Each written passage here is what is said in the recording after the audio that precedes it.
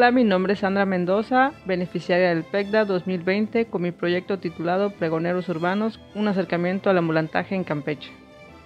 Este proyecto tomo como referencia la canción icónica El Pregonero de Campeche, letra de la maestra Zoila Quijano, en la cual relata las actividades de comercio en el estado de Campeche.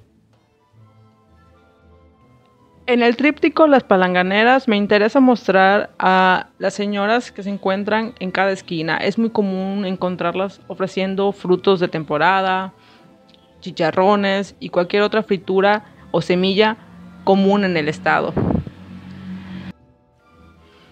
En la obra Fruta de temporada muestro a una palanganera o una persona que vende en estas típicas palanganas, en estos típicos recipientes de la, de la ciudad, frutas. Por lo general, el vendedor ambulante suele vender frutas que se encuentran eh, dependiendo de la estación. Por ejemplo, el marañón, que es una fruta que es muy habitual en la época de calor en el estado de Campeche. En esta pieza muestro parte de la arquitectura del centro histórico y a una vendedora de panetelas, el cual es un pan típico de la región y además esta trae el traje típico también del, del estado y de la península de Yucatán.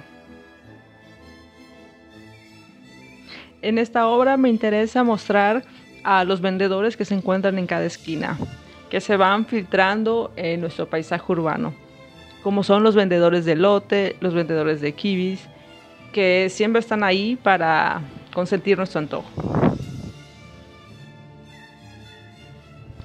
En esta pieza muestro a los vendedores de paletas y helados que se encuentran en Campeche. Aquí en nuestro estado hay dos principales paleterías y es muy común encontrarlos en las esquinas o alrededor de todo el centro histórico. En el tríptico Las pitayas de Mamavila me interesa mostrar el comercio de los productos locales y de cómo los campechanos venden estos productos que ellos mismos cosechan y así los ofrecen con mayor frescura. Las pitayas son frutos que en algunos lugares suelen ser exóticos, pero aquí en la península se dan muy bien en las albarradas o bardas de piedra.